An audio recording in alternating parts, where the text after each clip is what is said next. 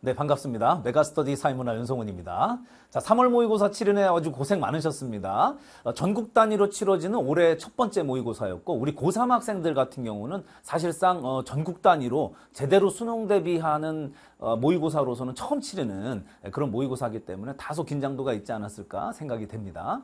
하지만 뭐 이따 총평 말씀에서 간단하게 말씀드리려고 하는데, 뭐 이 점수에 너무 연연하지는 않으셨으면 좋겠어요. 뭐 잘 나왔다고 해서 이게 뭐 들, 들뜰 일도 아니고 조금 못 나왔다고 해서 지금 뭐 망했구나 뭐 이렇게 너무 자책할 일도 아니기 때문에 아직 이제 시작이고 또 아직 재수생들이 성적의 분포에 들어와 있지도 않고 또 어, 평가원이라고 하는 수능 출제기관이 출제한 문제가 아니라 교육청 당국에서 낸 문제이기 때문에 문제의 꼭 난이도 차이라기보다는 문제의 어떤 질적인 측면이라던가 완성도 이런 데서도 다소 좀 차이가 있어요. 예, 그런 면에서 너무 연연해 하지는 않으셨으면 좋겠다 하면서도 예, 그래도 기분 좋게 출발하신 분들은 아주 어, 쾌조의 출발인 만큼 자신감을 가지시면 좋겠고 조금 서운한 점수가 나오더라도 어느 파트에서 내가 부족한 것인가 이런 걸 좀 따져볼 필요가 있지 않나 싶습니다. 몇 가지 눈에 띄는 얘기 좀 전해드리고 그리고 우리 이제 어, 오늘 모의고사 치르고 난 뒤에 4월부터 5월까지 6월 모의평가 대비를 위해서는 우리가 어떤 전략을 세워야 될지에 대해서도 간단하게 안내 말씀을 드려보도록 하겠습니다. 일단 이번 그 3월 학력평가에서 어, 나타난 특징을 한마디로 요약하자면 지난 수능보다는 좀 쉬웠다. 아, 그러나 고3 학생이 3월에 치르기에는 다소 좀 어려운 정도 난이도가 아니었나 싶습니다. 지금 실시간으로 올라오는 어, 1등급 컷을 보니까 뭐 44점이냐 45점이냐 이렇게 얘기하고 있는데 어, 실제로 이게 만약에 올해 11월에 수능에 이 정도 난이도로 출제됐다면 50점 만점자가 생각보다 좀 많이 속출할 가능성이 있는 정도의 난이도라고 볼 수 있어요. 그러니까 지금 뭐 어, 점수를 좀 낮게 받으신 분들은 약간 공포스러운 말이 될 수는 있는데 어, 고3 학생들이 아직은 이제 사실상 이제 예비 고, 고3이 되면서 어, 12월 말이나 1월 달부터 사실상 수능 대비 사회문화 공부를 하기 시작했다면 불과 한 3개월 정도 어, 하고서 이제 시험을 치르는 거기 때문에 꽃빵 열심히 하신 분들조차도 다 맞기는 좀 어려운 난이도 아니었나 싶은데 앞으로 시간이 수능 때까지 한 8개월 시간이 남아있기 때문에 8개월 동안 다지고 또 복습하고 또 풀어보고 반복하다 보면 이 정도 문제는 만점 맞는 사람들이 꽤 많이 나올 가능성이 있어요. 그리고 재수생들이 치르기에는 어, 지난 수능보다는 조금 쉽긴 하네요. 이런 아마 선생님의 말에 공감하지 않을까 이런 생각이 듭니다. 그래서 어, 난이도 면에서는 그 정도였다. 아, 그 정도였다라고 볼 수 있겠습니다. 자, 지금 통계 문제가 3개가 나왔어요. 10번, 15번, 20번의 도표 통계 문제가 나왔는데 요거는 도표 통계 문제만 놓고 보자면 수능에 이 정도 난이도로 나와도 전혀 손색은 없겠다 하는 정도로 나왔습니다. 뭐 엄청나게 어렵지도 않았고 엄청나게 쉽지도 않았는데 수능 난이도랑 좀 유사한 정도였고요. 오히려 10번에 나와 있었던 그 계층 문제 있죠. 계층 이동과 관련된 어, 표분석 문제는 어, 그동안 그냥 개수 세는 거 정도, 뭐, 칸수 세는 거 정도로 쉽게 냈던 거에 비해서는 다소 조금 까다롭게 내지 않았나. 오히려 쌤이 이미 예상을 했습니다. 개념 완성 시간이나 도표 통계 특강 시간에도 쌤 말씀드렸는데 이 계층 이동과 관련된 문제가 그동안 너무 좀 단순하게 나왔어서 그거가 조금 더 고도화될 가능성이 있지 않나. 이번 수능에서 쌤 그렇게 예측을 했는데 물론 평가원은 아니지만 교육청에서도 이 문제는 조금 그래도 고급스럽게 좀 만들어 봐야 되겠다 이런 생각이 있었는지 그렇게 좀 만들어 놨고요. 해설 강의 꼭 보시기 바랍니다. 요 총평 찍자마자 선생님 바로 해설 강의 촬영해서 올릴 예정입니다. 지금 시점은 지금 여러분들 막 시험 끝난 다음에 직후에 선생님 준비해서 지금 말씀드리는 거예요. 그 다음 15번과 20번은 각각 이제 일명 유부노, 유소년 인구, 노인 인구, 부양 인구의 그 비율 문제라던가 또 복지제도 통계 문제 이런 것들이 있었는데 이런 것들은 뭐 지난 수능, 지지난 수능과도 뭐 크게 차이가 없는 양식을 띠고 있었다 이렇게 볼 수 있겠습니다. 어, 다소 조금 쉬웠던 건 오히려 개념 문제 쪽이었어요. 개념 문제 쪽은 지난 수능에 비해서 좀 쉬웠고, 어, 좀 쉬운 게 아니라 좀 조금 더 아주 많이 쉬웠다고 하기는 그렇고 조금 쉬웠다고 하기는 그렇고 한 중간 정도 어, 그 정도로 좀 쉬웠고 통계 문제는 지난 수능과 크게 난이도에서 뭐 엄청나게 쉽게 난 것은 아니었다 이렇게 정리할 수 있겠습니다. 그래서 우리 고3 학생들 같은 경우는 이제 막 개념 1회독을 온전히 끝낸 학생들 정도가 대부분일 것이고 도표 통계 특강 선생님 아직 지금 완강도 아직 안 한 상태예요. 도표 통계 특강이 지금 중간에 진행되고 있는 중이죠. 업로드 될 때마다 기다렸다는 듯이 또 열심히 보시는 분들도 있는데 도표 통계 특강까지 실전편까지 잘 마무리 짓고 나면은 그러고 나면은 요 정도 통계 문제는 해볼 만하다 이렇게 생각하시는 분들 훨씬 더 늘어날 거예요. 아직은 개념 1회독 정도 하고 시험을 치 르기에는 다소 통계 문제 쪽이 좀 까다롭지 않았을까 이렇게 예상을 해봅니다. 얼른 극복을 하셔야 되겠죠. 어, 개념 문제는 반복이 핵심입니다. 열심히 반복하시면서 해결해 나갈 수 있을 것 같고요.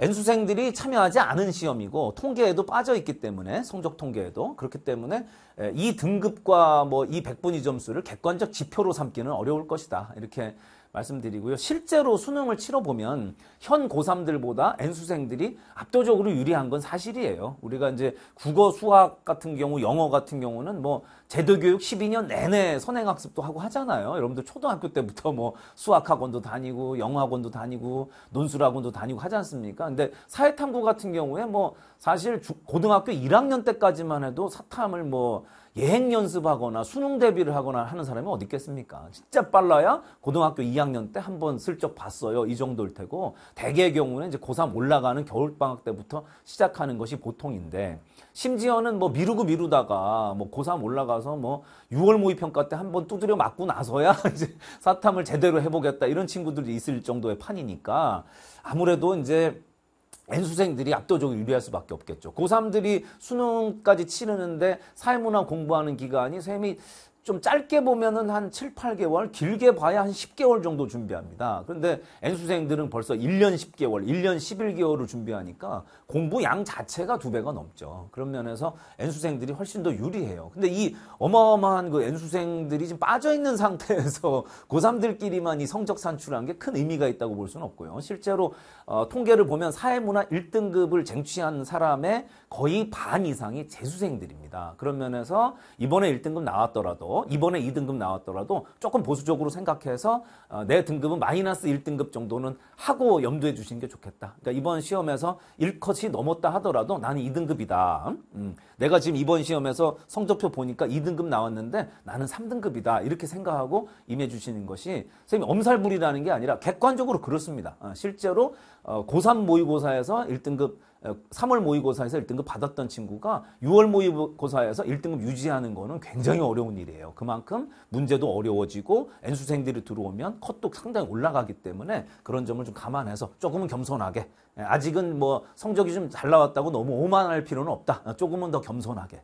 얘들아 겸손하게 하시겠죠? 어, 아직 된 게 아닙니다. 50점 만점 나왔어요. 너무 좋아요. 이렇게 선생님한테 벌써 DM 오는 친구들도 있던데 어, 축하합니다. 일단 열심히 했으니까. 하지만은 만족하지 말아라. 50점 만점 맞았어도 나는 지금 한 44점, 43점이구나 이렇게 생각하시고 이번에 43점 4점 맞았다면 아 내가 수능에 가면 아직은 40점 넘기기도 힘든 성적이구나 이렇게 조금 보수적으로 생각해 주시길 바란다 이런 말씀 드리고요. 앞으로는 뭐 개념 완성 2회도 꼭 해주시고 도표 통계 MSQ12 꼭 열심히 들어주시고 기출 문제도 역시 완성을 해야 되겠죠. 우리가 6월 모의 평가까지 완성해 나가야 되는 어, 선생님 네 가지를 꼽자면 개념 완성, 어, 그다음 도표 통계, 그다음 기출 분석, 그다음에 EBS 연계 교재인 수능 특강이라는 교재가 나와 있죠. 요렇게 네 개는 6평전까지 최소한 한 바퀴는 돌려야 되고 선생님 욕심 같아서는 두 바퀴는 돌려야 돼요. 근데 이제 이게 고3 학생과 N수생이 현실이 다르잖아요. 앞으로 이제 6월 모의 평가가 6월 초순에 있으니까 사실상 4월, 5월 두 달 남았단 말이죠. 이 두 달 동안의 전략을 어떻게 짜느냐에 따라서 이걸 소화할 수 있을지 없을지를 결판 내게 될 건데, 아, 선생님 뭐부터 해야 될지 모르겠어요. 중간고사 대비도 해야 돼요. 저는 N수생이나 시간이 좀 있는데 좀 시간을 충분히 사용해서 하려면 어느 정도까지 해야 될까요? 질문들이 굉장히 많아서 이번 총평 시간에 한 묶음으로 답변을 드려보도록 하겠습니다. 4월, 5월 이 두 달 동안 사회문화 1등급, 6월 모의고사 1등급 전략을 어떻게 세울 것이냐. 음, 먼저 이 말씀부터 드릴게요. 6월이 수능이다. 선생님이 상반기에 늘 강조되, 강조드리는 말씀이에요. 수능은 11월에 있는 게 아니라 6월에 있는 겁니다. 6월에. 예, 그렇게 확실하게 머릿속에 박아두세요. 아시겠죠? 4월, 5월 달 두 달 지나면 나는 수능 보러 간다. 이런 긴박한 마음으로 준비해 주시면 좋겠다. 6월 모의 평가 끝나면 다음 날부터 뭐 하는 거야? 재수하는 거야. 아시겠죠? 그래서 우리는 수능 대비를 두 파트로 나눠서 합니다. 6월 모의 평가가 일단 수능이에요. 그리고 나서 그 다음 일정은 생각하지 마, 지금 당장은. 뭐 7월부터 뭐 해야지, 여름방학 때는 어디 학원 가갖고 이걸 해봐야지. 다 필요 없어. 그때 가봐야 합니다. 아, 그래서 6월 모의 평가 점수가 일단 수능 점수라고 생각하고 달려들어야 돼요. 실제로 왜 그러냐면 6월 모의 평가에서 1등급 못 받잖아요? 이 사람이 수능 가서 1등급 받을 확률은 15% 20%도 안 돼. 아시겠죠? 그러니까 이거는 거의 이건 바늘구멍 뚫는 거랑 똑같다니까. 그러니까 6월 모의 평가에서 1등급 받았던 애들이 거의 대부분 수능 날도 1등급 받아요. 대부분 통계 내보니까 그래. 그래서 6월 모의 평가에서 꼭 어, 만족할 만한 등급을 따내겠다는 생각으로 임해 주셔야 되는데 우리 고3 학생들은 이 중간고사가 끼어 있기 때문에 선생님이 작전을 이렇게 한번 짜줄게요. 중간고사 대비를 너무 4월 초순부터 하지 마세요. 그러면 수능 일정이 다 망가져. 그러니까 이 두, 두 마리 토끼를 다 잡아야 되는 사람들을 대상으로 할, 드리는 말씀입니다. 두 마리 토끼를 다 잡아야 되는 분들이라면 4월 한 10일, 4월 한 12일, 뭐 여기 요, 여기까지 여기까지는 어, 전범위 수능 대비를 좀 해주셔야 돼요. 네. 전범위 수능 대비를 개념 도표까지는 최소한 제대로 완강할 수 있도록 해달라. 2회독 되면 너무 좋겠는데 거기까지는 욕심을 더 이상 선생님도 못 부리겠고 M스킬 12가 완강해서 업로드되는 4월 중순까지는 수능 대비 차원에서 중간고사 시험 범위에만 국한되는 공부를 좀 넘어서서 뒤에 3, 4, 5단원도 공부할 수 있는 여유를 좀 가지고 수능 대비를 해달라. 그랬다가 4월 말까지는 중간고사에 집중해야 되겠죠. 그러니까 4월 한 뭐 대개 여러분들 중간고사 시험이 4월 28일, 29일, 뭐 30일, 5월 좀 늦은 학교는 5월 2일, 3일 이때까지 늘어지잖아요. 그러니까 중간고사 대비는 4월 중순부터 4월 말까지 한 2주 정도, 한 2주 정도는 중간고사 범위에만 국한된 공부를 해도 좋다. 근데 너무 4월 초순서부터 중간고사 대비에만 올인하면 뒷범위 공부는 언제 합니까? 중간고사 다 끝나고 나면 불과 3, 4주 뒤에 6월 모의평가 치러야 되는데. 그죠? 네, 그래서 조금 시간 아껴서 좀 나눠서 쓰시라 이렇게 말씀드리고 싶고요. 5월 달에는 뭐 당연히 전력 투구를 해야죠. 어, 모든 걸다 어, 6월 모의평가 사회문화 1등급을 받겠다는 신념으로 한 달을 보내셔야 됩니다. 음. 그래서 선생님의 컨텐츠는 뭔지 아시죠? 개념 완성, 불후의 명강, 그 다음에 도표 통계 특강 M스킬 12, 그 다음에 내신에만 집중할 수 있도록 내신 사문항이라는 강좌가 있고요. 그 다음에 내신 범위만 가지고 뭐 4강, 5강짜리 짧은 문제풀이 강좌 같은 것도 있어요. 교재도 따로 없이 여러분들 그냥 그 파일 받아, 그 받아가지고 바로 풀어볼 수 있는 그런 강좌들도 있으니까 좀 적극적으로 활용해 주시고 그 다음에 5월 한 달 동안은 6월 모의고사 평가 대비하기 위해서 명불허전 기출분석 책이라던가 그 다음에 적중예감 모의고사가 나옵니다. 그때 원래 적중예감 파이널 모의고사는 9월 모의평가 끝나고 나서 어, 내놓는 선생님의 대표 모의고사죠. 전국의 수험생들이 많이 기다리고 있는 강인데 요거는 9월달 돼야 나오는 거고 어, 시즌 free 모의고사라고 해서 적중예감 시즌 free 에, 시즌과 상관없이 언제든지 볼 수 있도록 어, 내놓을 생각입니다. 그래서 4월 말 5월 초에 입고가 될 거니까 5월 한 달 동안 실제로 시간 재서 6월 모의고사 어, 대비하는 그, 그런 문제풀이 수업을 한번 해보시면 좋겠다. 4회분, 5회분 정도 내놓을 생각입니다. 그래서 이걸 하면서 개, 개념, 도표, 기출, 그리고 모의고사 실전 연습까지 마칠 수 있는 일정을 이렇게 한번 짜드리고요. N수생들이라면 시간이 좀 있잖아요. 예? 이 사람들 핑계 대면 안 돼. 아시겠죠? 뭐 시간이 없어서 뭐 그런 거 아닙니다. 그러니까 충분한 시간이 있으니까 개념 도표 기출 최소한 2회독 이상은 하시라. 불후의 명강, 엠스킬 투레브, 명불허전을 뭐 4월이고 5월이고 뭐 상관없어. 4월, 5월 두 달 내내 개념 기출 도표, 개념 기출 도표 요거를 최소한 두 바퀴 정도는 온전하게 돌려야 된다.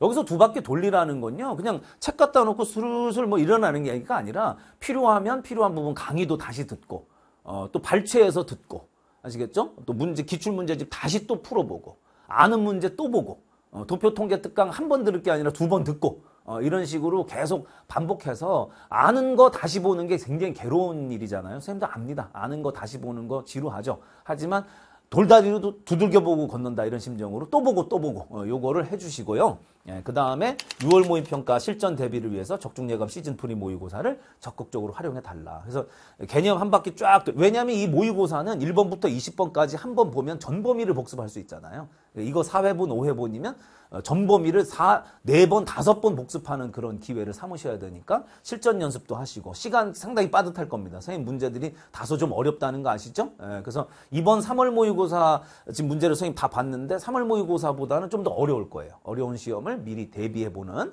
그런 연습도 해보시고 시간 맞춰서 풀어보는 연습도 꼭 좀 해보시기 바랍니다. 이렇게 작전을 한번 같이 짜드렸습니다.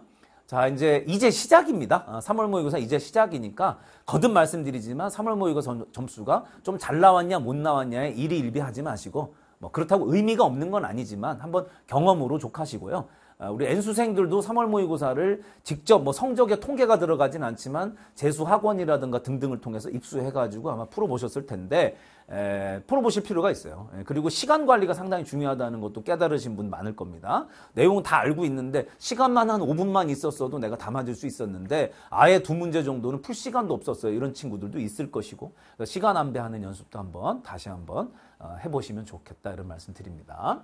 자, 선생님은 3월 모의고사를 기점으로 해서 이제 도표 통계 특강 그리고 어, 명불허전 기출 분석 빨리 완강을 해서 여러분들한테 안겨드리고요. 5월 달에는 적중 예감 시즌 free 모의고사로 다시 찾아와서 여러분들의 6월 모의 평가 1등급을 만들어 드리는 것을 어, 최선을 다해서 도와드리는 네, 그렇게 하도록 하겠습니다. 강의실에서 만나 뵙겠습니다. 해설 강의 꼭 열어보시죠. 응? 해설 강의 꼭 잘 보셔야 됩니다. 안녕.